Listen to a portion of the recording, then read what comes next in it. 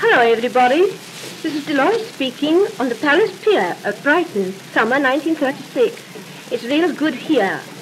I know it is. Which do you mean, my voice or the sea tide? Town. Of course, you're a conceited thing. Who, me? No, never. Jean and I have already broken one record of ice cream eating, and are contemplating making another in ice cream eating also. Edward, you ought just to be here. It's really good. But of course, not quite so nice with Nuki Como. Goodbye, Poe. Yes, no, I won't. Yes, you might have to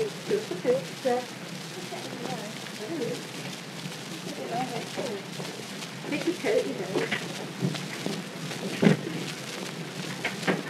Do we live?